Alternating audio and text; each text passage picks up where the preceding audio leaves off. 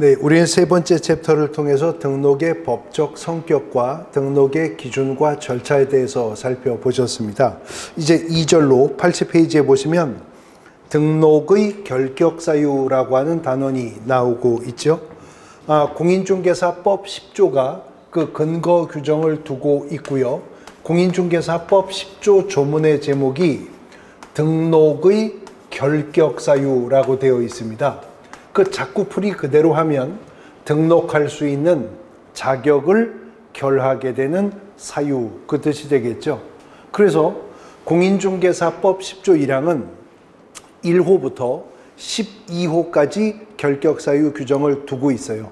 그렇게 12가지 결격사유 규정을 두기 전에 10조 1항은 다음 각 호의 어느 하나에 해당하는 자는 중개사무소 개설 등록을 신청할 수 없다라고 출발합니다. 그래서 등록의 결격 사유는 등록을 신청하는 자, 앞서 우리가 법인과 공인중개사만 등록을 신청할 수 있다고 배웠죠. 등록을 신청하는 자 입장에서 결격 사유에 해당하는지의 문제는 등록 관청으로부터 등록 통지를 받을 수 있는지 결정하는 기준이 됩니다.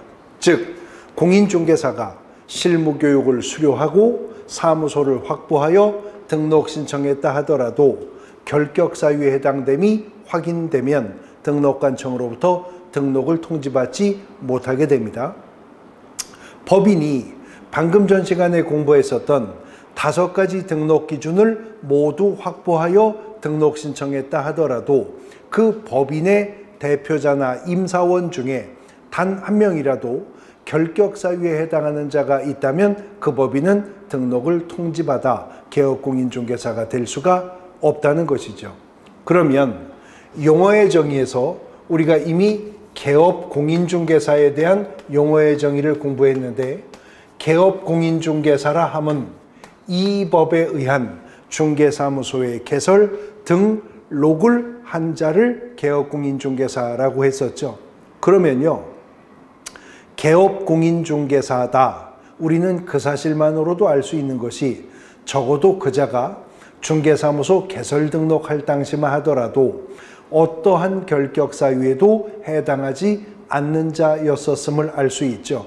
그것이 등록관청에 의해 확인이 되었기 때문에 등록이 통지가 되어 그자가 개업공인중개사가 됐었던 것입니다. 그런데 그런 개업공인중개사가 중개업을 영위하던 중 후발적으로 결격 사유에 해당하게 되는 경우가 있겠죠. 결격에 나중에 해당되는 경우가 있을 수 있을 거잖아요. 그러면 개업 공인중개사가 결격 사유에 해당이 되면 어떻게 되는가? 그거 절대적 등록 취소 사유가 된답니다. 결격 사유에 해당됨이 적발되면 등록관청은 반드시 등록을 취소하여야 한다는 거죠. 그러므로 결격 사유에 해당하는 자는 등록하여 개업 공인중개사가 될 수가 없을 뿐만 아니라 개업 공인중개사가 나중에 결격 사유에 해당되면 반드시 그 등록이 취소가 되게 된다는 겁니다. 그런데 공인중개사법 10조 조문의 제목이 등록의 결격 사유라고 되어 있지만 그 효과가 여기에서 그치는 것이 아닙니다. 공인중개사법 10조 1항은 1호부터 12호까지 결격 사유 규정을 두고 있다고 말씀드렸죠. 그리고 나서 10조 2항으로 가면요. 1항 각 호의 어느 하나에 해당하는 자는 다시 말해 결격 사유에 해당하는 자는 그 말인데요. 결격 사유에 해당하는 자는 소속 공인중개사 또는 중개보조원이 될 수가 없다라는 규정이 10조 2항에 나와요. 그러니까 결격 사유에 해당이 된다면 고용인도 될 수가 없다라는 거죠. 적법하게. 그리고 10조 1항이 1호부터 12호까지 결격 사유 규정을 두고 있다고 했는데 그중 12호부터 먼저 소개하면 12호에 법인의 임원 또는 사원 중 결격 사유에 해당하는 자가 있는 법인은 결격에 속하는 것이다 라고 하는 규정입니다. 그러므로 임사원 중에 한 명이라도 결격 사유에 해당하는 자가 있으면 그 법인이 결격에 해당하는 것으로 판단된다는 것입니다. 그러므로 고용인이나 법인의 임사원에게 있어서 결격 사유 해당하느냐 여부는 적법하게 중개업에 종사할 수 있는지 여부를 결정하는 기준이 된다. 적어도 결격 사유에 해당하지 않는 자이어야 고용인이 될 수 있고 법인인 개업공인중개사의 임사원이 될 수가 있다는 거죠. 그러면 이제 종합 정리해 보면 결격에 해당하는 자는 등록하여 개업공인 중개사가 될 수가 없고 결격에 해당하지 않아 등록이 된 개업공인 중개사라 하더라도 나중에라도 해당되면 반드시 잘리고 결격에 해당된다면 고용인조차도 법인의 임사원마저도 될 수가 없다면 결론은 뭐예요? 결격 사유에 해당하는 자는 직접적이든 간접적이든 적법하게 중개업에 종사할 수가 없게 될 것이다. 그 말이죠. 그러한 결격 사유가 공인중개사법 10조 1항 1호부터 12호까지 규정되어 있다고 했습니다. 이제 그 10조 1항의 각호 조문 순서대로 하나하나 끄집어내어 나열해 보면서 그 개념과 특징 분석을 해 볼 겁니다. 공인중개사법 10조 1항 1호는요, 미성년자라고 합니다. 그리고 공인중개사법 10조 1항 2호는요, 피성년 후견인, 피한정 후견인이라고 합니다. 자, 이들이 결격사유에 속한다고 정하고 있는 것인데, 미성년자, 피성년 후견인, 피한정 후견인, 이들을 통칭하여서 민법이 뭐라고 하죠? 네, 제한 능력자라고 하죠. 단독으로 유효한 법률 행위를 하는 것에 제한을 받는 자들입니다. 민법이 말하는 제한 능력자라는 것이 바로 미성년자, 피성년 후견인, 피한정 후견인을 의미하는데 민법상의 제한 능력자들이 우리 공인중개사법의 첫 번째 결격 사유를 장식하고 있음을 알 수가 있습니다. 단 유의해야 될 것은 민법은 이들에게 단독으로 유효한 법률 행위를 행하는 것을 제한합니다만 제한하고 있습니다만 민법에서는 예외가 인정되는 경우가 있잖아요.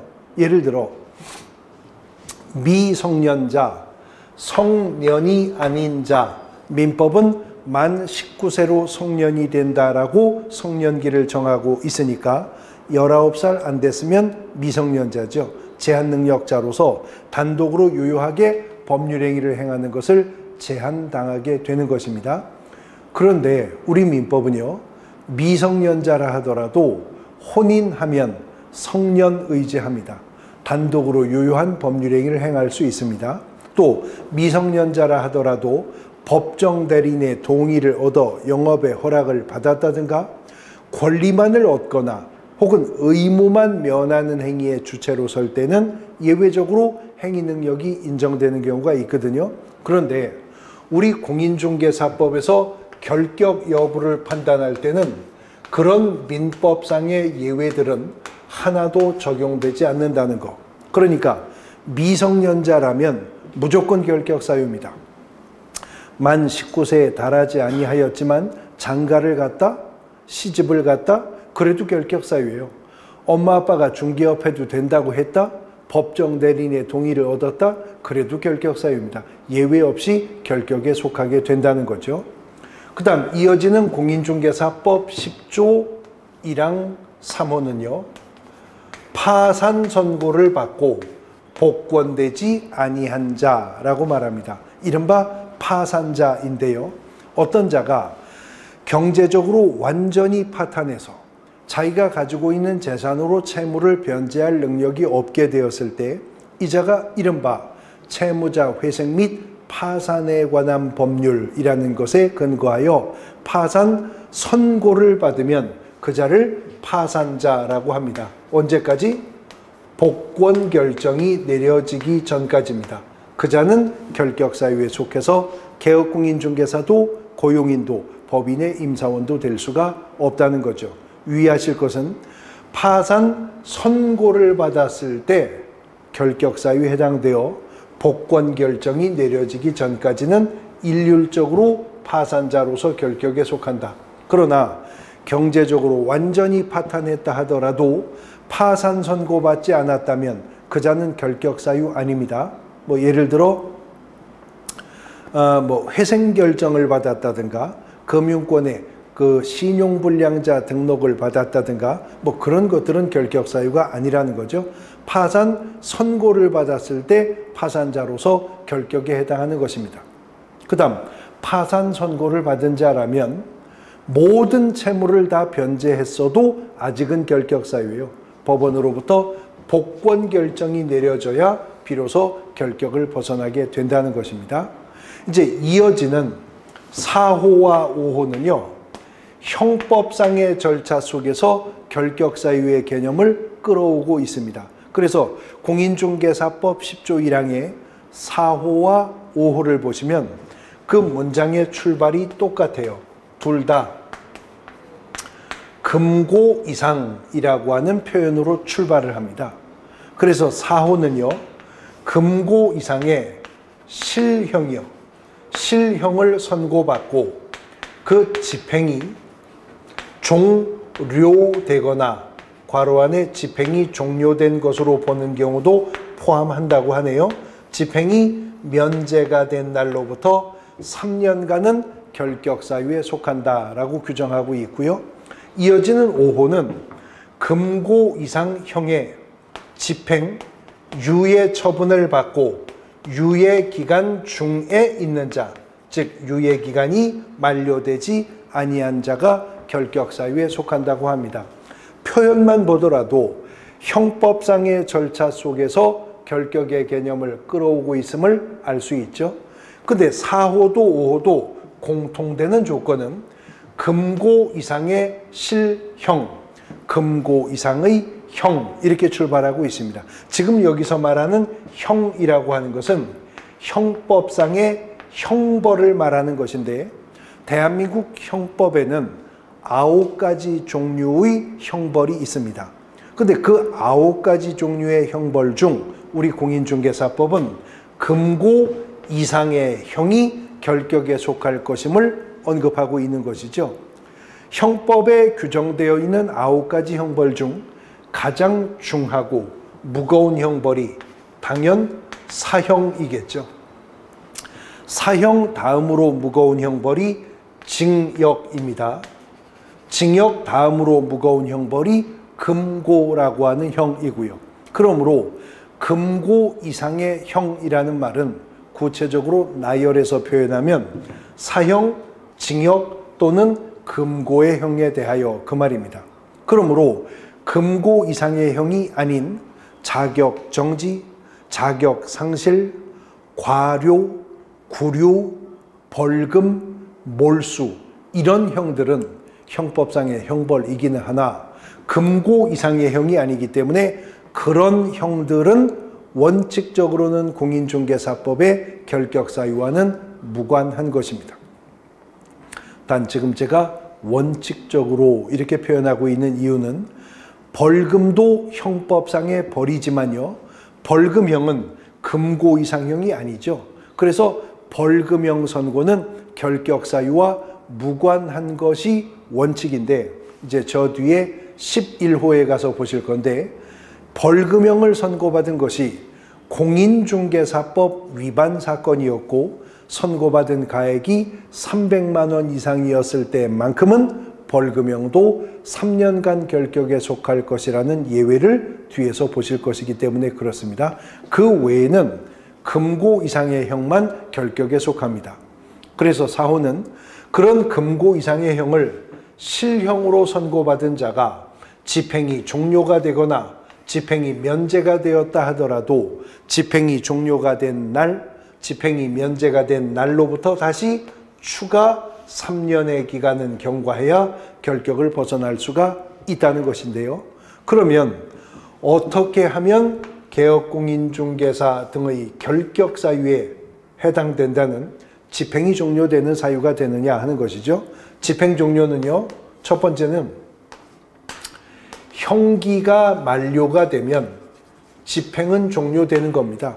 다시 말해서 만기 출소하는 분은 집행이 종료가 되어서 나오는 겁니다. 그러니까 징역 1년을 선고받은 분이 365일 꼬박 콩밥 먹었으면 풀어주잖아요. 그분은 집행이 종료되어서 나오는 겁니다. 그러니까 만기 출감하는 분은 만기 출감한 날로부터 3년간 결격 사유에 해당하게 될 것이다 하는 거죠. 그런데 형기가 만료가 되는 경우도 있지만 형기가 만료되지 않았는데 도중에 가석방이 되는 경우도 있다는 것이죠. 어, 어제 뉴스를 보니까 그 교정시설의 코로나 감염 등의 문제로 인해서 무려 900명을 어, 그 조기 가석방 조치한다. 뭐 이런 뉴스를 제가 본 게 있는데요. 그러면 가석방이 되면 그자는 언제 집행이 종료가 되는가라고 하는 것인데 그것은 그자가 무기형을 선고받았었던 자이냐 유기형을 선고받았었던 자이냐에 따라서 집행 종료 시점의 기산 방법이 달라집니다. 무기형을 선고받은 자도요, 무기징역을 선고받았다 하더라도 가석방이 가능하거든요. 그래서 무기형을 선고받은 자가 가석방이 되면 형사법은 가석방일로부터 10년이 경과하는 시점에 일률적으로 집행을 종료시켜요. 그러면 무기형을 선고받았다가 가석방이 된 자는 가석방 후 10년이 경과해야 집행이 종료가 되고 집행이 종료된 날로부터 3년이 추가 경과해야 한다고 하니까 가석방 일로부터 결격 사유 기간을 계산하면 13년이죠. 가석방 후 13년이 지나면 결격 사유를 벗어나게 되는 겁니다. 그런데 일정한 구체적 형기를 확정하여 선고받은 유기형의 경우에 있어서는 가석방이 되면 자녀 형기가 잔형기가 경과하는 시점에서 집행은 종료가 됩니다. 잔형기라고 하는 것은 선고받은 형에서 복역한 형기를 빼면 잔형기가 되겠죠. 예를 들어서 징역 5년형을 선고받은 자가 3년간 복역 후 가석방 되었다면 잔형기가 얼마 남았죠?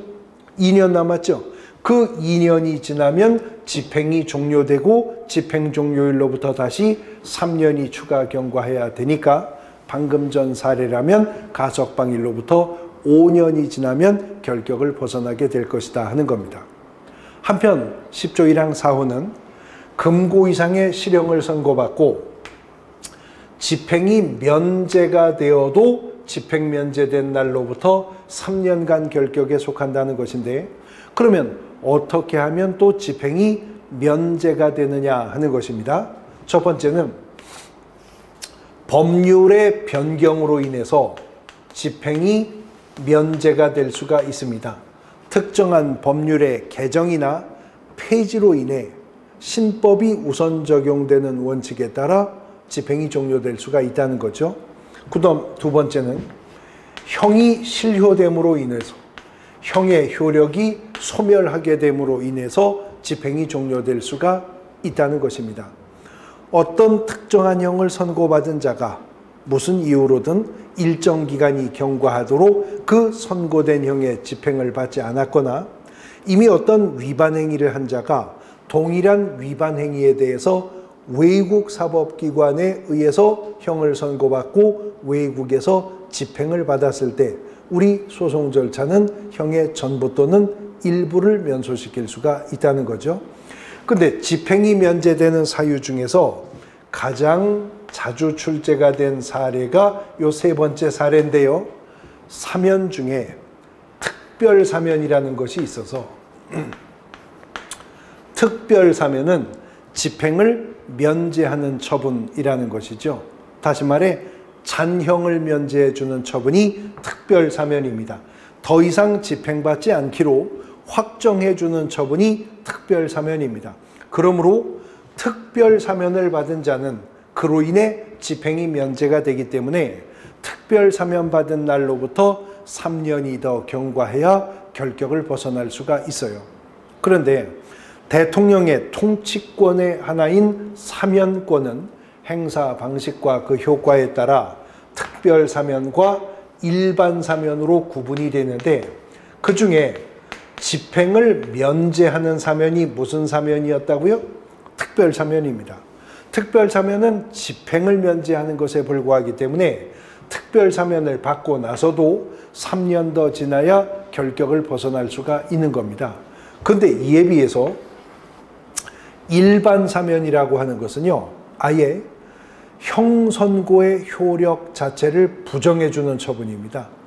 무죄였던 상태로 그냥 돌려버리는 겁니다. 백지 상태로. 그래서 일반 사면을 받게 되면 그 즉시 결격 사유를 벗어나게 된다는 거죠. 그래서 특별 사면, 일반 사면 지문 속에서 뒤바뀌어 자주 틀린 지문으로 출제되기 때문에 유의하셔야 되는 것입니다.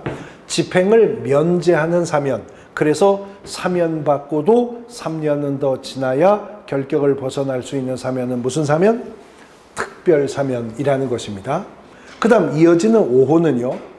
금고 이상형의 집행 유예 처분을 받은 자는 그 유예 기간 동안에만 결격 사유에 속한다고 규정하고 있죠.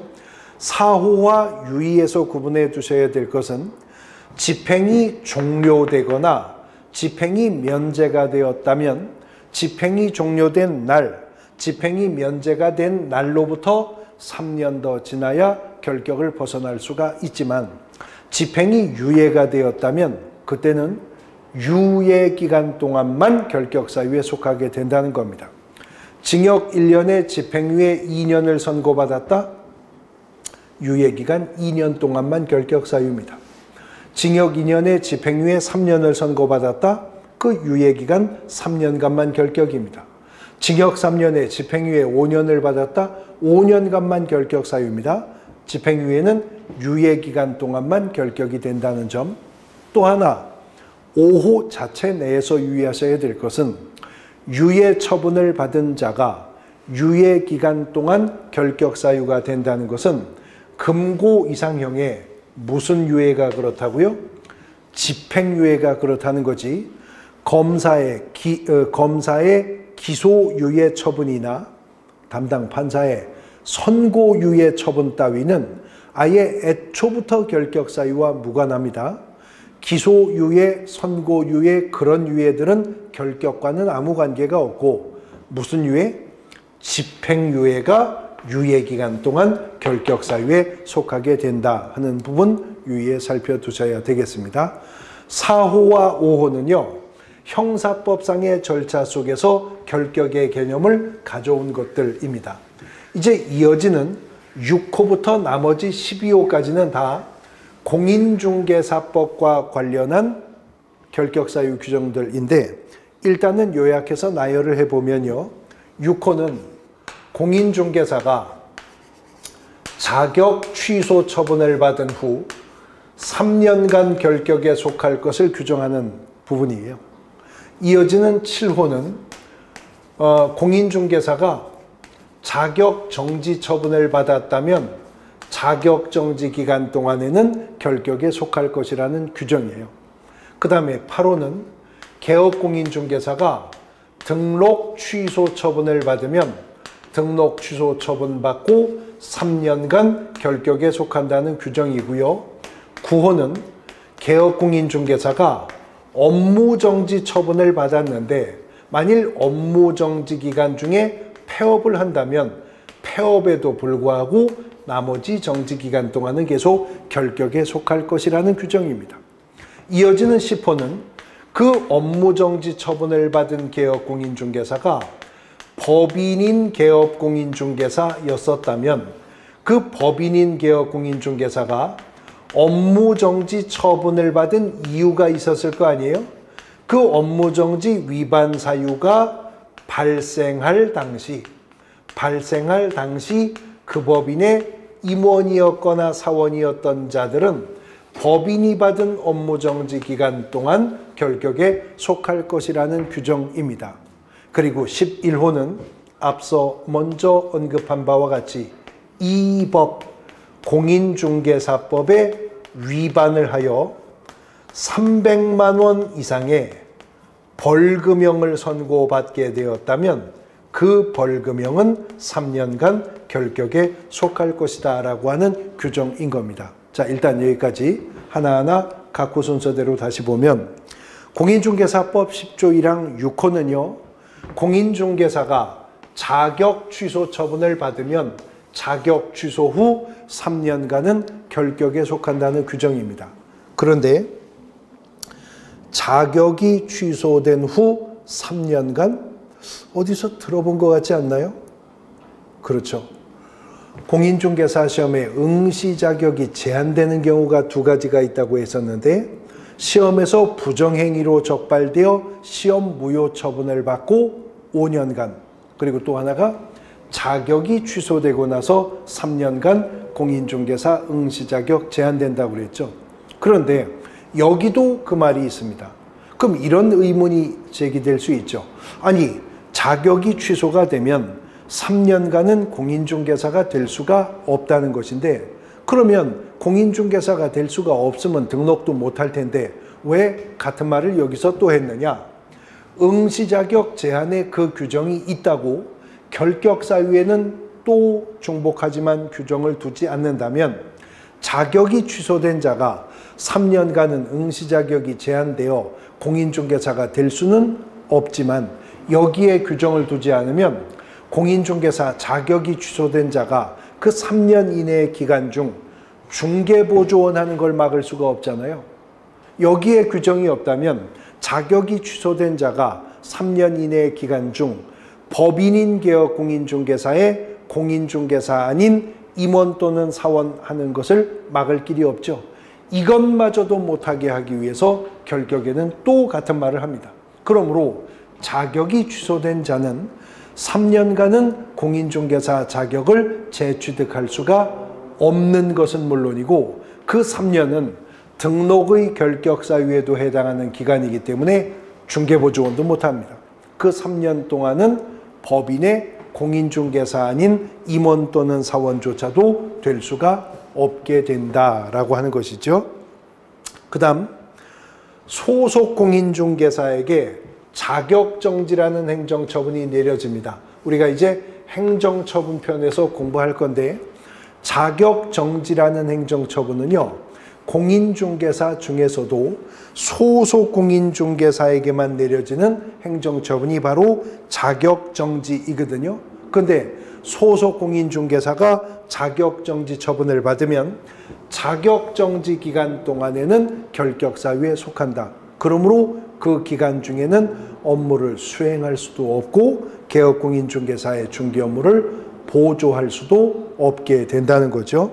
그 다음 개업공인중개사가 등록 취소 처분을 받으면 등록 취소 후 3년간 결격 사유에 속하게 된답니다.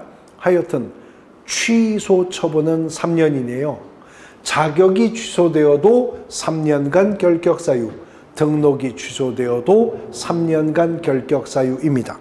그런데 공인중개사 자격이 취소가 되었을 때 자격 취소 후 3년간 결격 사유가 적용된다는 것은 예외도 없습니다. 언제나 자격이 취소가 되면 자격 취소 후 3년간은 그자에게 결격 사유 기간으로 적용이 됩니다.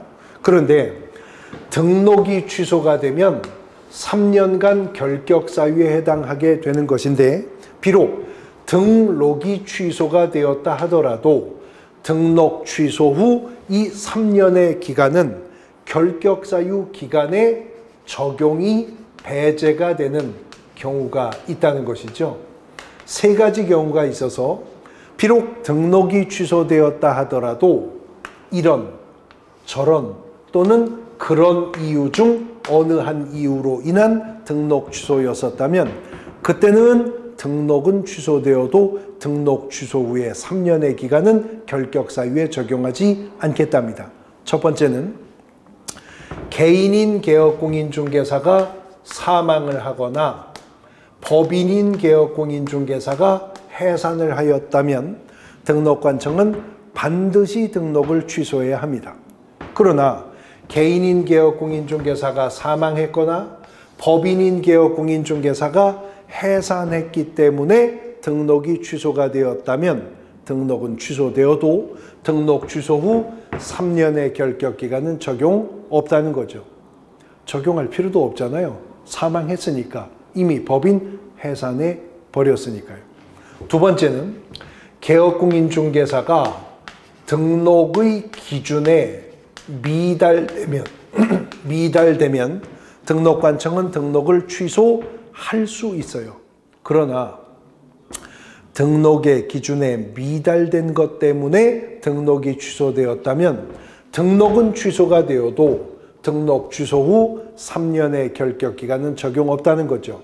그러니까 미달된 등록 기준만 회복하면 복구하면 바로 중개업에 복귀할 수 있도록 해주겠다는 입법 취지입니다. 그 다음 세 번째, 개업 공인중개사가 결격 사유에 해당이 되면 어떻게 된다 그랬죠? 아까 출발할 때. 개업 공인중개사가 결격 사유에 해당이 되면 절대적 등록 취소 사유가 된다고 했었잖아요. 그런데 개업 공인중개사가 결격 사유에 해당된 이유로 등록이 취소되면 등록 취소 후 3년의 결격 기간은 적용하지 않겠다. 해당되었던 결격 사유만 벗어나면 바로 중기업에 복귀할 수 있도록 해주겠다라고 하는 것입니다. 그 다음 아홉 번째는 개업공인중개사가 업무정지 처분을 받았는데 업무정지 기간 중에 폐업을 하였다면 폐업에도 불구하고 자녀 업무정지 기간은 그자에게 결격 사유가 될 것이라는 거죠. 예를 들어서 개업공인중개사가 등록관청으로부터 업무정지 5개월 행정처분을 받았대요. 근데 업무정지 5개월의 행정처분을 받고 두 달 만에 폐업을 했답니다. 그러면 폐업 신고하여서도 자녀 기간 세 달은 결격 사유가 된다는 거죠. 그러므로 5개월의 업무정지 처분을 받은 자는 두 달 만에 폐업할 수도 있지만 폐업을 하여도 이 세 달은 결격 사유 기간이기 때문에 이 세 달이 지나야만 재등록할 수가 있다는 것입니다. 그런데 그러한 업무정지 처분이 법인인 개업공인중개사에게 내려졌을 때요. 그 업무정지의 효과가 피상적으로 법인에게만 미치는 것이라면 업무정지 처분의 위화력은 잃게 될 것입니다. 예를 들어서 갑중개법인 업무정지 6개월 행정처분을 내렸을 때 그 효과가 갑중개법인에게만 미친다면 갑중개법인 소속의 대표이사, 이사, 감사들 다 빠져나와서 을법인을 설립하여 을법인의 명의로 버젓이 중개업을 할 거잖아요. 그러니까 법인인 개업공인중개사가 업무정지 처분을 받게 되면 법인인 개업공인중개사가 그 업무정지 처분을 받게 된 이유가 있었을 거 아니에요? 그 업무정지 위반 사유가 발생할 당시에 임사원이었던 자는 법인이 받게 된 업무정지 기간 동안 결격 사유에 속하게 될 것이다. 라고 하는 규정을 둔 것입니다. 그 다음에 이제 11호는 이 법 공인중개사법에 위반을 하였고 300만 원 이상의 벌금형을 선고받았다면 벌금형도 3년간 결격에 속한다는 규정입니다. 벌금형도요, 형벌입니다. 그래서 행정질서벌인 과태료 처분과는 달리 벌금도 형벌이기 때문에 형사소송의 절차에 의해 형사재판부가 선고하여 정하는 형법상의 벌인 겁니다. 그러나 벌금도 형법상의 벌이기는 하지만 앞서 4호, 5호가 언급했었던 금고 이상의 형은 아니죠.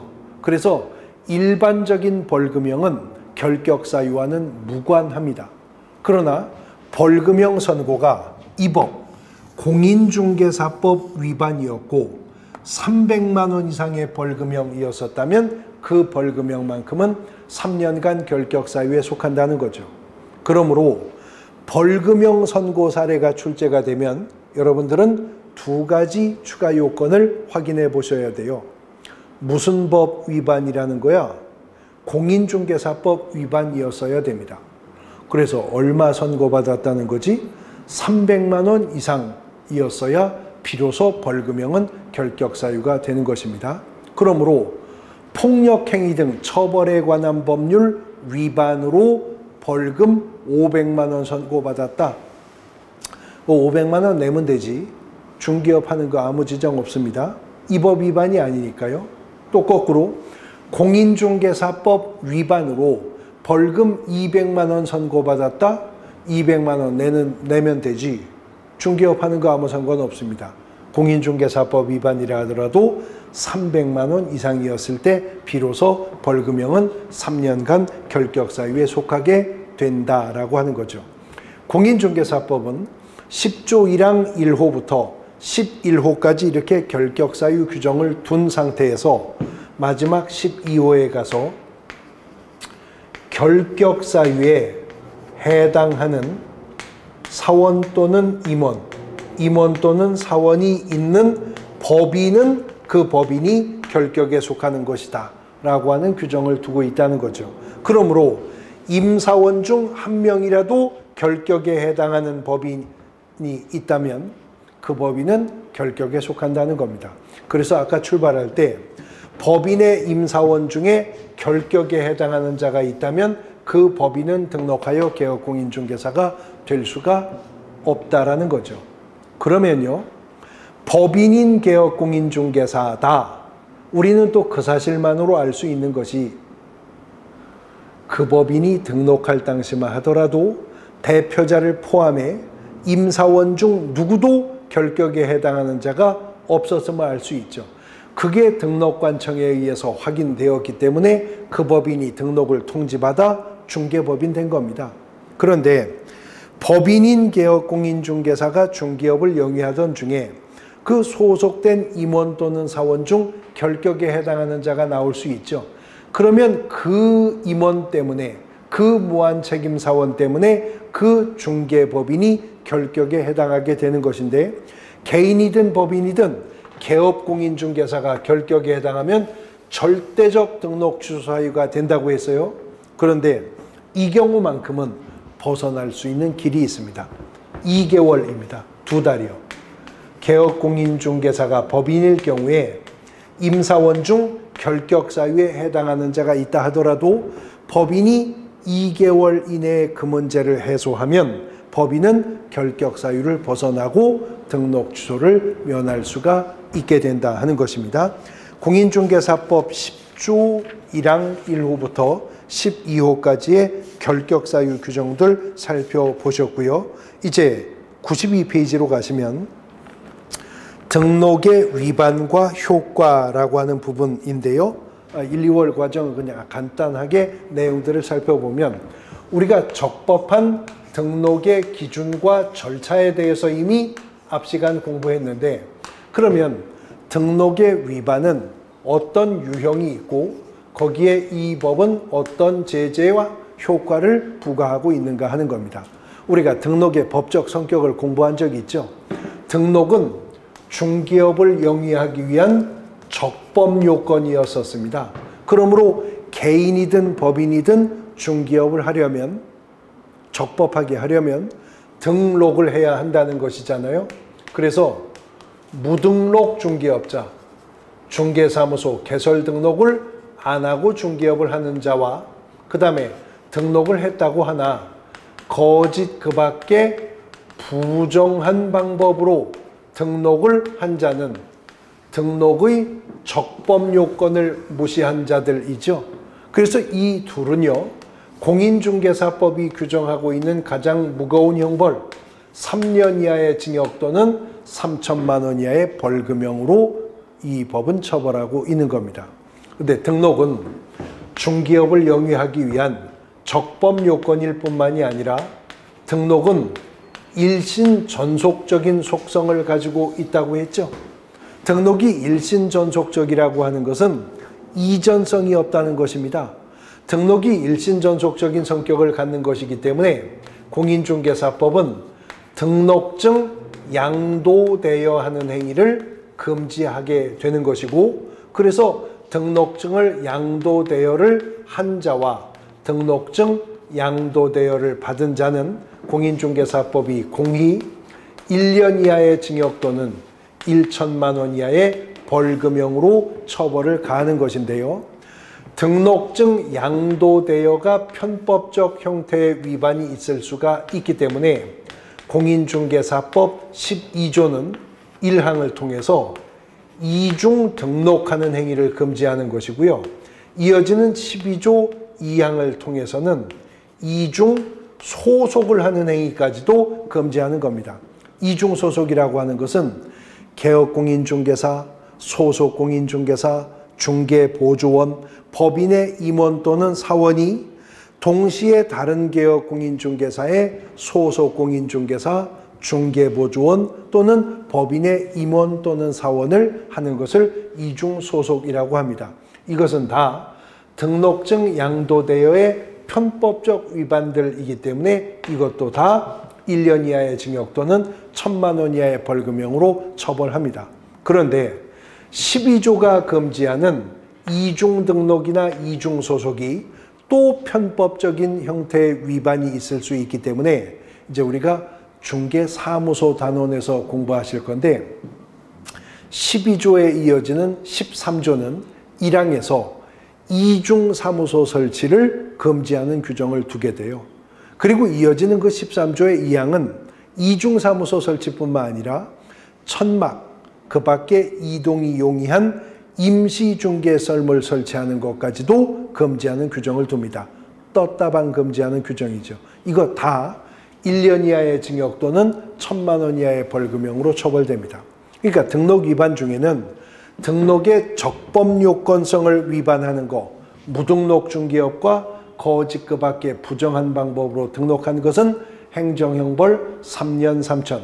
그리고 등록의 일신전속적 성격을 위반하는 거. 근데 일신전속적 성격을 위반하다 보니 위반 행위의 공통점은 따블 칩니다. 등록증 양도되어 한 자 받은 자, 이중 등록, 이중 소속, 이중 사무소 설치, 임시 중개설물의 설치, 따블 치는 거죠. 어쨌거나 일신 전속적 성격을 위반한 것들은 1년 이하의 징역 또는 1천만 원 이하의 벌금형의 대상이 된다라고 보시면 됩니다. 행정 형벌이 그렇다는 것이고요. 그 다음 거짓 그 밖에 부정한 방법으로 등록을 했다. 그 등록 반드시 취소가 됩니다. 절대적 등록 취소 사유가 된다는 거죠. 등록증을 타인에게 양도되어 한 자, 절대적 등록 취소 사유고요. 개업공인중개사가 이중 등록하거나 이중 소속하는 행위 모두 다 행정처분은 절대적 등록 취소 사유 반드시 등록을 취소해야 되는 사유가 된다는 거죠. 그러나 무등록 중개업자나 거짓 그 밖에 부정한 방법으로 등록을 한 자나 행정형벌은 같았어요. 3년 이하의 징역 또는 3천만 원 이하의 벌금. 그러나 행정처분은 거짓 그 밖에 부정한 방법으로 등록을 한 자는 어쨌거나 등록이 형식적으로 되어 있기 때문에 반드시 그 등록을 취소하지만 무등록 중개업자에게는 행정처분이 없습니다. 왜요? 취소할 등록 자체가 없기 때문에요. 그러면 무등록 중개업자란 무등록 상태에서 중개업을 한 자가 무등록 중개업자이잖아요. 그러면 무등록의 상태에서 중개업을 했어야 되는데 무등록이 무엇이냐? 등록을 안 한 것이 무등록이죠. 미등록 상태에서 중개업한 거 당연히 무등록 중개업자가 될 겁니다. 그런데 단순히 등록을 안 한 것만 무등록은 아니고요. 등록의 효력이 소멸하였으면 다시 무등록 상태로 가는 겁니다. 개인인 개업공인중개사가 사망하거나 법인인 개업공인중개사가 해산하면 등록 효력 소멸하기 때문에 무등록 상태가 됩니다. 그 다음 등록 취소 처분을 맞았으면 그 즉시 등록 효력은 소멸합니다. 개업공인중개사가 스스로 폐업 신고하여 폐업 신고가 수리되었어도 등록 효력은 소멸합니다. 마치 운전면허를 따본 적이 없는 자가 운전하다가 적발되는 것도 무면허 운전이지만 운전면허가 있었는데 음주 단속에 적발되어 면허 취소 처분을 받고 나서도 그 후에 운전하다가 걸리면 그것도 무면허가 되는 거죠. 그렇듯이 등록을 안 하고 중개업을 하는 것도 무등록 중개업이지만 했었던 등록의 효력이 이미 소멸하였음에도 중개업을 더하면 이 또한 무등록 중개업을 한 자가 된다 하는 것입니다.